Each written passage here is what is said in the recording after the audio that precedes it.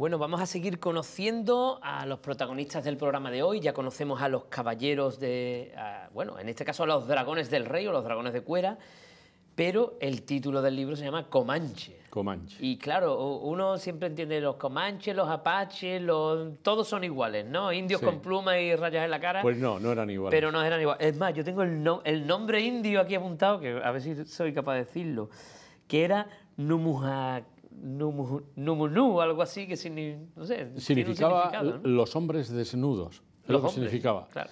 Es que estos fueron, fueron empujados por los Cherokee y Sosoni por, del norte, fueron empujados de la rocosa hacia abajo.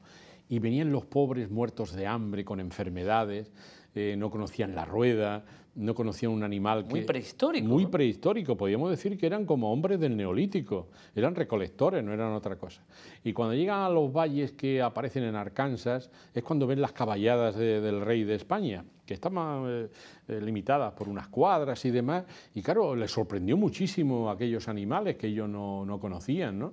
Los aztecas le llamaron ciervos sin cuernos, yo no sé lo que le llamarían los comanches, pero los comanches ya, como decía anteriormente, pues se hacen unos jinetes excepcionales y ya su vida gira alrededor del caballo continuamente. Ya tenían comida y tenían, porque algunas veces los mataban, y también tenían caballo para cazar y para trasladarse de un sitio a otro. De hecho, en las pelis podemos ver del oeste como a veces cambian lo que sea por un caballo. por ¿no? un caballo. Para ellos, Pieles, eh, lo que mujeres, fuera. la- Eh, A, a mí siempre me ha hecho mucha gracia que en las películas del oeste, de las cuales soy yo un gran, un gran visualizador, me gusta muchísimo el oeste, pues recuerda que siempre ahorcaban a aquel el que robaba un caballo. O sea, era, cierto. era, era, era, vamos, Era, era algo muy valioso era en esos terrenos va- tan vastos. valiosísimo, ¿no? Y claro, los españoles cuando ven que estos desarrapados, que se llaman a sí mismos los desnudos, le declaran la guerra al género humano y comienzan a atacar todo lo que se moviera dentro de la frontera, fue cuando ya no pueden permitirlo y comienza la guerra comanche,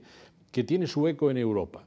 Llega incluso al Vaticano. El Vaticano entonces era un, era un gobierno normal y corriente como cualquiera y toda la diplomacia vaticana se movía por todas las cancillerías de los reinos europeos, pues hablaban de las grandes dificultades que tenía España con esa tribu que ha aparecido, que son absolutamente paganos, que saben el nombre de, de sus grandes jefes, como Cuerno Verde Padre y luego Cuerno Verde Hijo, pues que arrebatan a las mujeres blancas, que luego las venden eh, a los tratantes de esclavos de Nueva Orleans, eh, que tienen arenes, que las maltratan, en fin, que, que violan a niños, en fin, aquello, aquello tuvo un enorme impacto. O sea, a, lo- a los propios de, de raza blanca también los vendían como esclavos a, a- a otros... Apaches. Ah. Ellos, normalmente a los apaches, no se atrevieron a hacerlo con, con gente blanca porque serían que, sabían que la, la venganza podía ser terrible. de- Claro, tenían cuidado de Tenían eso. cuidado, pero sí a- a las apaches, sobre todo a los apaches lipán, que eran los más pacíficos, eh, con eso la tomaron.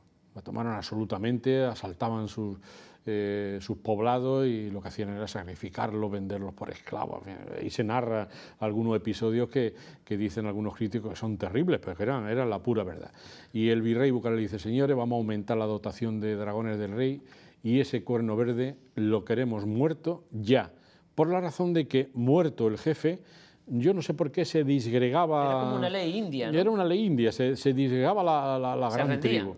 Efectivamente, mm, prácticamente se rendían. Y eran muchos los, que, los comanches, tenían vari- varios pueblos.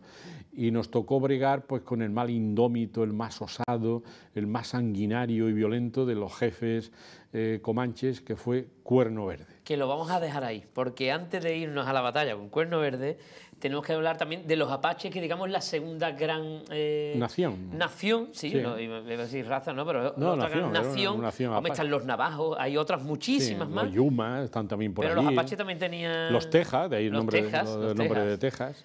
Eh, los apaches también son un grupo de esto, de, de- de- de tribus indígenas, ¿no? Eh, también de, esta Sí. zona, ¿no? Lo- lo- los apaches lo que hacen en los ejércitos de los dragones del rey, o sea, los ejércitos españoles, era mm, servir de, de guías. Lo que vemos en las películas del oeste de John Wayne, de John Ford. Rastreadores, ¿no? Sí, sí, ve un rastreador siempre que es un apache. Bueno, pues eso ya lo habían hecho los españoles dos siglos antes. Y entonces estaban de tropas auxiliares con los españoles. Y vivían en los poblados, en los presidios. Había en el presidium que aparece al principio de, de San Sabá, pues había una colonia de apaches que ya estaban cristianizados y servían como de, de siervo, de ganadero, de tal, pero hombres libres, De absolutamente. hecho, su jefe más famoso es Sí. Jerónimo, ¿no? Claro, del nombre, nombre porque estaba bautizado. Y yo estos días informándome vi una conferencia que diste pone, piensa en el nombre de Jerónimo, ¿es un nombre indio? No, un nombre no. anglosajón tampoco. pero lo más gracioso que no conoce latino. la mayoría de la gente es que él hablaba en castellano, él hablaba en español. Claro, Cosa como- curiosísima, claro, ¿por qué? como Porque en los sabía- indios ame- eh, mexicanos. ¿no? Claro, Digamos. sabía, se había criado en un, en un presidium, ¿no? Igual que uno que aparece por ahí, que se llama Pepe Blanco, que también era un apache, que luego sirve Pepe de... Blanco. Sí, se Qué llamaba nombre así. más poco apropiado para... No, no, pero era, era, era un apache que sabía un montón de idiomas y, y todos los jefes, los jefes de lo, de lo- lo cogían para que sirviera de Me lo voy a intérprete. apuntar porque yo tengo que averiguar la vida de Sí, Pepe sí, sí. Blanco. Pepe Blanco, sí, sí. Eh, sí, sí. Joe White, me apuntan desde Sí, arriba sí, a sí. realización. Sí, sí. Bueno, pues eh, claro, eh, estos pueblos van a cuando llegan a la frontera donde están estos señores, Colisionan. ahí colisionan. Ya no queda más. América por la que seguir, porque están los españoles por un lado, las colonias anglosajones por otro, y ellos no Y paran que, de y moverse. que España podía haber seguido eh, conquistando, porque España llega hasta lo que son los grandes lagos. La famosa batalla de, de Ojo, de Ojo Caliente, donde muere el señor este Cuerno Verde, está en Arkansas. O sea que, España eh, eh, procuró seguir hacia adelante, pero se lo impidieron los comanches. Fue, fue una especie de muralla que encontraron ahí las tropas españolas que dijeron, oye, todos los indios se nos han sometido al ver el poder de nuestras armas, menos estos. Estos tíos aguerridos que hay forma de acabar con ellos, ¿no?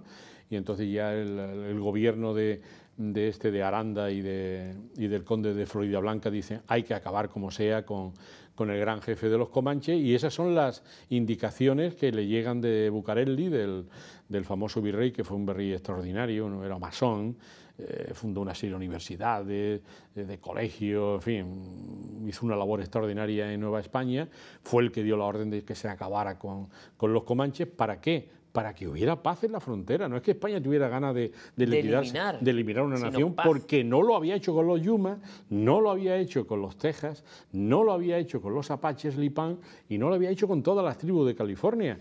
O sea que Se trata un poco de domesticar la cuestión, ¿no? Exactamente, era convertir a unos señores que vivían en el Neolítico y llevarlos a la, a la civilización. Hoy los cowboys que se ven en Estados Unidos, eso ya lo habían hecho los españoles con no aquello. nada. Eso, eso no es nada. Después de leer esto, los cowboys, Para eso no vale nada, absolutamente para nada. nada. Ya, ya le habían hecho los españoles antes y la doma del caballo que, que vemos en las películas parece que es cosa suya. Que no, hombre, que no, eso lo habían hecho los españoles allí. De hecho, y esto es un chascarrillo, se supone que la tela vaquera fue inventada en Asturias. Y, y no es broma lo que digo, Sí. ¿eh? de los pantalones vaqueros. Eso no lo, lo contarás un día. Eso te lo contaré un día. Las cosas que, que tengo uno aquí guardado. Sí, sí. Pues resulta, eh, tengo yo apuntado por aquí que Teodoro de Croix, Croix es Sí. el, el apellido, comandante de las provincias internas del virreinato, es el que eh, pide auxilio al virrey Cierto. y mándame a alguien que solucione esto. Y aquí es donde van a, llamar, va a venir eh, Juan, Ba- Bautista Juan de Bautista de Anza. Eso es un hombre que providencial. es un crack, ahora que se dice así, no es un crack Sí. porque Todo español que vaya... idea una estrategia genial. Exactamente, ¿no? todo, todo español que, que vaya a San Francisco y vea su estatua en la Avenida de la Constitución, una estatua ecuestre enorme, Gigante, vamos, con gigante. ese hombre con una barba larga, el pelo larguísimo, por, así a lo, a lo, a lo, a lo, mm, eh, David Crockett y eso, o sea, como los verdaderos y, eh, del western americano, y con un sombrero de ala ancha, no cordobés, sino de ala ancha y tal y cual, con su capa azul, y el hombre allí con su espada y eso. Uno pensaría que es un norteamericano. Todo el mundo piensa que uno y pone Uno pensaría eso, pero no. City of San Francisco of Juan Bautista de Anza. Fundador. Ese es fundador de los Dragones del Rey. Él era el, el- el director de la academia. Y claro, el hombre empieza a luchar contra toda esta gente e inmediatamente lo nombran gobernador de Nuevo México. Sí, por, su- por sus. vamos, por su hazaña, por y, su por, y por hazaña. su mérito. Él, aunque era criollo, nacido en, en Sonora, sin embargo, era hijo de padres, de Vasco, padres vascos, Sí. de Hernani. Era un farmacéutico y tal, o sea que era un caballero, era un caballero. Y entonces este hombre le dice, eh, el que tú has eh, nombrado antes, de Croix, Teodoro de Croix. de Croix, y también Bucarelli le dicen que hay que fundar unas ciudades en California para que sirvan de muralla o soporte a los rusos y a los comanches, a ambos, tal, y se lo encomiendan a él. Hace dos expediciones y funda San Francisco en la segunda, que es una hazaña extraordinaria porque recorren casi 2.000 kilómetros. Sí, la ANZA National Historic Trail. Sí, y además... es un camino que hoy día... Que, lo, que lo siguen como aquí el Camino de Santiago, el Camino Real Español, que todavía existen en California y en Nuevo México, ¿no? Y, hoy son lugares de senderismo, ¿no? Creo que unos militares españoles los realizaron hace poco y llevaban la bandera de Carlos III y unos indios, uno de una tribu, lo pararon y besaban la bandera. Sí, cierto. Y, les y claro, los militares españoles diciendo, pero ¿qué hacéis? No? ¿Por lo, qué? Que, lo que tienen que saber todos sus televidentes es que cuando España, después del nefasto reinado de Fernando VII, eh, se marcha de América, no ha habido un reinado peor para nuestra historia que ese, en todos los aspectos. los indios pedían de rodillas a los españoles que no se fueran. De rodillas. Porque una vez que se fue España de allí, y se llevó esa bandera que tú has dicho, es cuando llegan los criollos le roban todas las tierras a los indígenas y ocurren las verdaderas masacres en Chile, en Paraguay, en Argentina y en Nuevo México. De hecho, eh, después, no cuando estaban los españoles. Contaban estos indios que gracias a un papel que dio Carlos III de propiedad de tierras, cuando vino el mundo anglosajón dijeron, un momento, tengo un papel con certificado de... Se ve en películas, ha aparecido incluso en películas. Y, lo respetaron, lo respetaron los gobiernos, los gobiernos americanos. ¿eh? Pero eh, el ataque de, Anza, a, en este caso a los, a los comanches, eh, bueno, se realiza de una manera muy muy certera, ¿no? Creo que tapan las pezuñas a los caballos para que no levanten polvo. Eso es. Este hombre, este era un, este hombre había leído mucho a los clásicos, era un, un erudito y un seguidor de Alcibíades y sobre todo de Aníbal. Aníbal hizo también eso de, las pezuñas de los caballos y de la herradura claro, los indios cuando veían la humareda decían, ahí, vienen, me marcho. Eso era, eso era eh, eh, ponía, una serie de vigías en lugares muy, muy estratégicos y cuando veían una nube de polvo decían, ya vienen los españoles. Y entonces al ponerle esos trapos, lo que ideó Anza fue lo siguiente. Estos tíos están en el norte de Nuevo México. Si yo subo por arriba y llego hasta Arkansas, San Luis de Arkansas. Estamos hablando como de aquí a Alemania, ¿no? Exacto. Estamos hablando como de aquí a Alemania. si yo bajo por allí, los cojo por la espalda. Fue una estrategia, una estratagema ejemplar. Y entonces bajan por allí. Y les dieron la sorpresa. Y le dieron una enorme sorpresa porque este hombre se había bajado hacia abajo y dijo, ¡uh, se han ido los dragones del rey de los presidium! Entonces era el momento de atacarlo, pero no sabía que estaban todos detrás de él.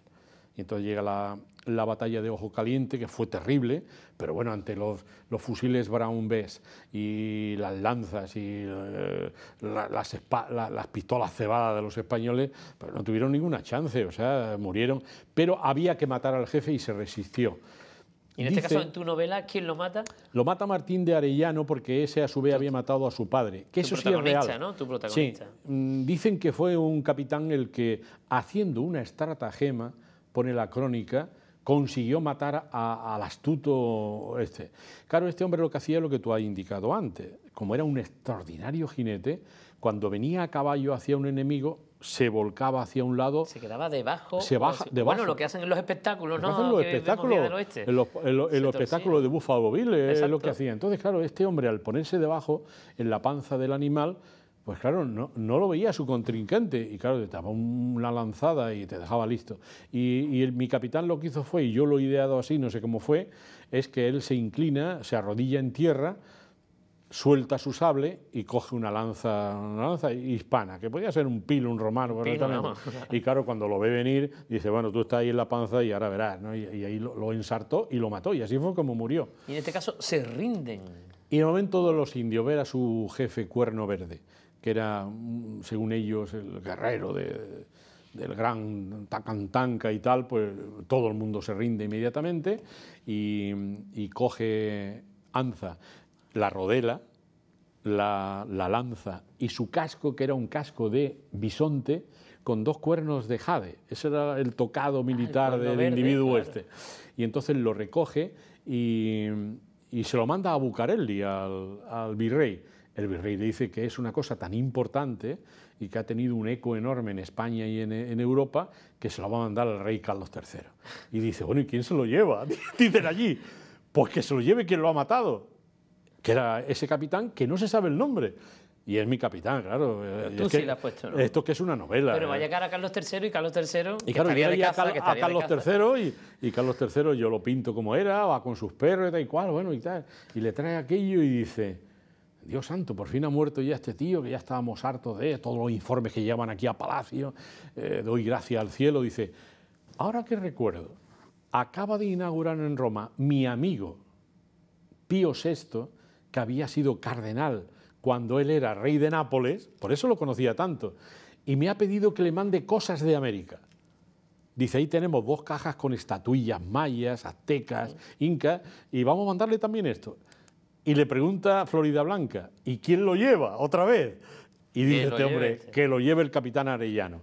Y el capitán Arellano embarca en Valencia, dice la historia que embarcó en Valencia, no se dice el nombre, y llega al embajador, al embajador español y este se lo presenta al Papa y al, y al este y al, general, al cardenal Camarlengo, que le agradecen inmensamente el presente e inmediatamente expuesto en los museos vaticanos donde hoy puede ser admirado. Que puede verse ese tocado de pluma, ¿no? Del bisonte exactamente. que está allí de aquella batalla. Eso, y luego ya vuelve y, llega esa paz que tú tanto has valorado, que es la paz de Anza. Sí, porque además hay, eh, lo he leído descrito en muchos sitios porque es la típica de película del oeste donde caseta de campaña india, eh, Anza en medio, pipa de la paz, y ahí estaban apaches, comanches, navajos, todos. Y se firma la paz, señores, vamos a parar ya. Y lo hacen de una forma muy... Además, él es el que manda, él ha, él ha ganado a todos. Él, que lo, él, se da cuenta que el que ha sucedido a Cuerno Verde que se llama Ecueracapa, porque lleva una capa de cuero y se llama Ecueracapa, así se llamaba. Y, y, le dice que reúna a todos los grandes jefes de esas tribus de la frontera con nombres muy graciosos, ¿no? Eh, dos pimientos, no sé qué, seguro, pues graciosísimo. y se reúne en esa carpa bajo la, la, presidencia de Juan Bautista de Anza, con su enorme barba, su cabellera eh, sobre el pecho y tal. Y, y entonces este hombre eh, le, da una serie de, favores eh, materiales que, que, a ellos les encanta, ¿no? lo que era el comercio, el, pagarle, mm, el facilitarle caballo, el que sus hijos estudien en colegios españoles, no, que fue una paz extraordinaria. Y entonces ellos lo que hacen es enterrar sus cuchillos en la arena, allí mismo en la carpa. Se levantan todos, cogen su cuchillo, hacen un agujero y lo tapan y dicen, la paz con España, con el Padre Blanco de España, será perdurable. Dice, pero queremos que nos des tu bastón de mando. Él tenía un bastón de mando porque era el gobernador de Nuevo México y fundador de, San Francisco. Y entonces ese, ese, bastón de mando dorado y eso se lo da de capa y eso para él es, no sé, como lo indio de las películas cuando el, el, presidente Jefferson le daba una levita negra, una cosa. Bueno, iba por todas partes enseñándolo, una cosa memorable, ¿no? Y durante 100 años no se rompe la paz. Y se mantiene ese comercio. Se mantiene el comercio, se, se mantiene. Van Darwin y, y, Humboldt a hacer una visita por todas aquellas ciudades costeras y dicen que no han visto una prosperidad semejante. Bueno, y en cambio en la costa este se estaba liando la Marimorena, séptimo de caballería, guerras con ingleses por en medio. Y esto da pie, va a dar pie a la leyenda negra, cosas que no, se tuerce la tortilla. Si quieren saber qué es la leyenda negra en un pequeño resumen, pues atentos a este documento. En 1776, una delegación de colonos españoles visita a Teodoro de Croix, comandante de las provincias internas del Virreinato de Nueva España. Su relato es desgarrador. Vivimos en estado de angustia porque sabemos que, antes o después, una cuadrilla de indios pondrá cerco al rancho de cualquiera de nosotros. Los saquearán, nos matarán y hasta raptarán a nuestros hijos pequeños si no los volveremos a ver. No podemos seguir viviendo así. Si no se corta de raíz estos asaltos, abandonamos la tierra y volveremos a España. El problema es grave. Los escurridizos indígenas, que asestan los golpes, huyen a caballo y se ocultan en la inmensidad del territorio al norte del Río Grande. La milicia sale en su busca, pero es inútil. El ruido y la polvareda que levantan les delata a leguas de distancia. Pero de Croix tiene al hombre adecuado.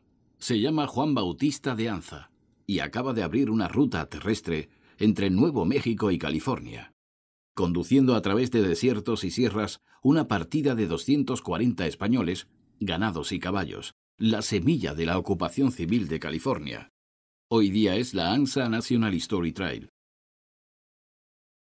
Y tras depositar salvos a los colonos en la misión de Monterrey, ha establecido en California el embrión de una nueva ciudad que se llamará San Francisco. De Croix propone al rey Carlos III a Juan Bautista de Anza como gobernador de Nuevo México, con el específico cometido de resolver el problema indio en la llamada tierra de frontera. Anza estudia el problema. De las grandes tribus de las praderas, una es fiel aliada, los indios pueblo, y tres hostiles, los apaches, navajos y comanches. Estos asolan la misión de San Sabá. Su jefe es el afamado Cuerno Verde, el caudillo invicto de las praderas, y Anza decide centrarse en él a la hora de diseñar su estrategia. Así que entrena a fondo a los soldados durante semanas. Parte al frente de la tropa, ha ordenado forrar los cascos de los caballos para no levantar polvo, caminar de noche, en silencio, sin levantar hoguera alguna, y así se adentra en el territorio de Nuevo México, acercándose al corazón del pueblo comanche. El sigiloso acercamiento sorprende a una pequeña partida comanche a la vera de un río. Les apresan y revelan el escondite de Cuerno Verde y sus huestes. Y al amanecer caen en perfecta organización sobre los comanches. El jefe Cuerno Verde muere, rindiéndose el resto sin más lucha. La nación comanche se rinde, ofreciendo su colaboración a Anza. Amedrentados, los navajos le secundan y demandan la paz. Entonces Anza reúne bajo su mando a todas las tribus y las lanza contra los apaches, los más agresivos e irreductibles, los causantes de la mayor parte de los asaltos a los ranchos y haciendas españoles. Viéndose cercados por todas partes, los apaches deciden deponer a su vez las armas. Al más clásico y teatral estilo indio, se acuerda entonces la paz de todas las tribus con España, la Pax Anza, fumando los jefes en una tienda la pipa de la paz con Juan Bautista de Anza. Bueno, pues la leyenda negra que nos persigue desde, desde bueno, nos la han achacado desde tiempos de la Inquisición. Inquisición hubo en todos lados, eh, incluso las peores fue en los Países Bajos, no aquí. Eh, mil cosas, ¿no? siempre el desastre viene por parte de la cultura hispana, ¿no? Sí. Eh, precisamente la conferencia que voy a dar en la Universidad de la Madrena de Santander, que ya la estoy preparando, voy a empezar así. O sea, eh, en, este país existe una mezcla explosiva facilitada por la leyenda negra que crearon los enemigos de España en general, como fueron los holandeses, los franceses y, sobre todo los ingleses. Eh, ¿Con objeto de qué? Con objeto de minimizar las grandes epopeyas y hazañas que hicieron los españoles que cambiaron el mundo, porque el descubrimiento de América cambia el mundo, cambia el mundo, eh, su talante económico, en el social y en el cultural. El mundo se, antes se, imaginaba y ahora ya, señores, el mundo redondo y hay una riqueza excepcional en, el continente y en el Nuevo Mundo. Y eso le corresponde a España y eso les cuesta un, tremendamente aceptarlo. Y lo peor no es eso, esa mezcla que decía yo al principio, eh, se mantiene porque el español medio y el español político lo interioriza. No valemos nada, es verdad, hemos hecho barbaridades. Bueno, ya, lo, vimos aquí con el submarino de Isaac Peral. Por ejemplo. Que podríamos haber vuelto a dominar la situación. Y no, y, no lo hicimos. Pero por culpa de los propios políticos. Y luego lo que tú has mencionado de la Inquisición, eso clama al cielo. Yo soy profesor de historia, eso lo digo a mis alumnos, resulta que la Inquisición española es la última que se instaura en un reino, la última, con los reyes católicos cuando lleva ya dos siglos en Francia, con los cátaros y Simón de Montfort e Inocencio III. Pero bueno, habían matado lo que no lo escrito, nada más que los cátaros que mataron supera en miles a lo que pudo hacer la Inquisición española. La Inquisición española no mató más allá de 800, 900 judaizantes que los quemaron y tal, y brujas, mientras que en Alemania fueron 4.500. Los capuchinos que, que asesinó Isabel II cuando la reforma sobrepasa el número de 3.000. Y la noche negra de los hugonates en Francia murieron más de 6.000 por razones de fe. Eso no cuenta. Eso ya prescrito. Ah, amigo, a España no le prescribe nada. Hoy se hace una película, tiene que ser la Inquisición, la, Inquisición, la española. hace Steven Spielberg una, una película sobre la, la trata de negros y sale la reina Isabel II. ¿Y de dónde era el barco? De España. La única nación europea que no, actuó ni, ni, intervino en la trata de negros, solamente los catalanes. Y claro, uno ya, no es que clame al cielo, es que, es que la injusticia es, es, inmensa. Y entonces ha, ocurrido que hemos hecho una asociación que se llama Escritores para la Historia, que, que la dirige un, periodista amigo vuestro, que es Chani, Antonio Pérez Henares, y vamos por medio mundo ya explicando esto para que de una vez por todas esa leyenda negra desaparezca, por lo menos que prescriba. Y en el caso de América, en el caso de la novela sucede igual. Si miras el continente americano puedes encontrar todavía lenguas y razas y si miramos en el la parte norteamericana, quedan las reservas. Claro, yo cuando estuve allí dije, señores, la población, la población eh, indígena que había cuando llega España, cuando llegan los dragones del rey allí, se ha centuplicado. Y sin embargo, en la parte angloparlante, simplemente es que ha desaparecido. Ha desaparecido. No es que haya aumentado en 100.000, no, que ha desaparecido. Cuando Sitting Bull, toro sentado, llega a pedirle la paz al famosísimo general Sherman, famosísimo general Sherman. Gran conversación esa que vas a contar. Esa conversación es maravillosa, ¿no? Y le dice a Sherman, eh, Padre Blanco, mi, mi, pueblo Sioux y también todas las, tribus que, que, acompañan a la nación Sioux quieren convivir pacíficamente con, con los blancos. Y, y Sherman, que viene en una carta que está en el Congreso, dice, el mejor indio es el indio muerto. Y se lo dice en inglés. Y le dice el, que traductor, el traductor que estaba copiando, dice, mi general, se lo digo, dice, no le diga nada, pero que conste. Y al día siguiente masacraron más de 20 poblados sioux y los dejaron arrasados, matando a mujeres, niños, ancianos. Eso no lo hizo España jamás, jamás ni cuando llegó Hernán Cortés, cuya novela mía, Los hijos del sol, acaba de salir ahora. Con seudónimo. Con seudónimo, Morgan Scott. Eh, hicieron jamás los españoles eso. Nunca, nunca. Bueno, pues lo vamos a dejar aquí, eh, quitándonos un poco ese sentimiento de culpa y sobre todo eh, animando a la gente a disfrutar a que investigue incluso, por internet se pueden encontrar muchísimas cosas. Yo me encontré de un teniente del ejército una tesis que ha hecho sobre esto, 500 páginas, pero mucho más divertido y mucho mejor es leerte el libro de Jesús Maestro. Siempre que hay amores, hay aventuras. Comanche, que hay aventura y de todo. Y esto es un ápice por si les gusta la historia, rascar un poco más. Hoy hay mm, muchos medios. Jesús, muchísimas gracias por inaugurar de nuevo esta temporada. Sí, es que para mí es un placer venir, Salva, a tu programa. Bueno, pues no escriba tan rápido que no me da tiempo de presentar todo lo que escribes. y a ustedes, nada, ya estamos aquí, septiembre, comienza el curso, comienza la vida de nuevo. Así que en siete días les esperamos en un nuevo programa de Zona Historia.